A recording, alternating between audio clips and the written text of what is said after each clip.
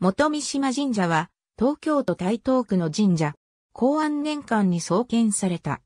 鎌倉幕府御家人の河野道有は、公安の役に際して、地元の大山積神社で戦勝祈願をしたところ、成就して武勲を挙げることができた。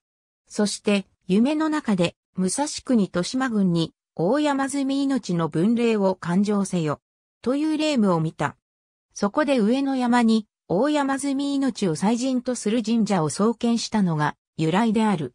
1650年、幕府により立ち退きが命じられ、大体地の金杉村に移転した。1710年、幕府により、再度立ち退きが命じられ、浅草小揚町に移転した。これが、現在の本社三島神社である。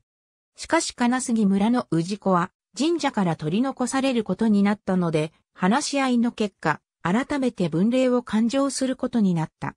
そうして創建されたのが当社である。同様の経緯で、現在の台東区下屋にも三島神社が創建されている。現在地には、もともと熊野神社があり、それと合祀する形となった。江戸時代は、チベット院が別当時であった。1921年に孫社に列格している。現在の社殿は、1976年に新築されたものである。ありがとうございます。